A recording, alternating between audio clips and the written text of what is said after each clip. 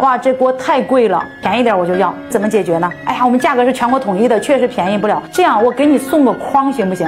请注意，第一次的赠品一定是一个价格低一点的赠品。假如顾客说叫我看看你的筐，成交信号，说明有门儿。哎呀，要什么筐啊？我们家筐成堆，不要，说明对赠品不满意，还希望要求更多。此时给他拿个盆儿，但是不要拿的那么痛快，要设置障碍，就说，哎呦。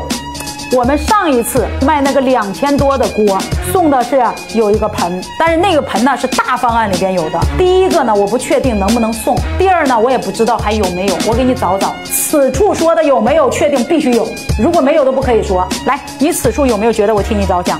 问完之后，哎，就给他做好准备，小赠品他依然要啊，把这俩都给我吧。呀，不中啦，不中啦，你知道吧？即使中也得挣扎几下，听懂没？客户满载而归，得意的不得了。这是不是销售的第一个环节啊？绝不给他便宜。还有第二个。这盆儿也松了，筐也松了。他说不中，你还得给我便宜点。有没有这样的客户啊？此处就再说不便宜啊，不便宜，不便宜我不买。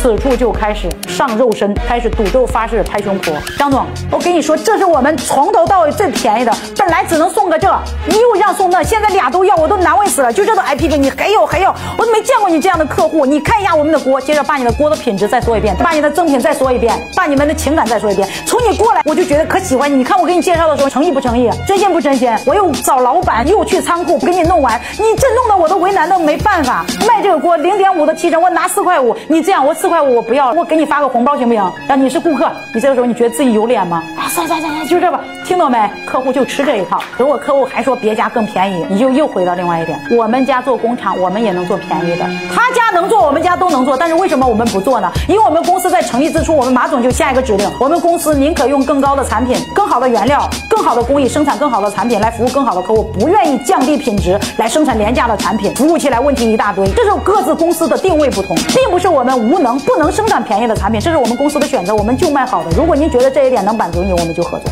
听懂没？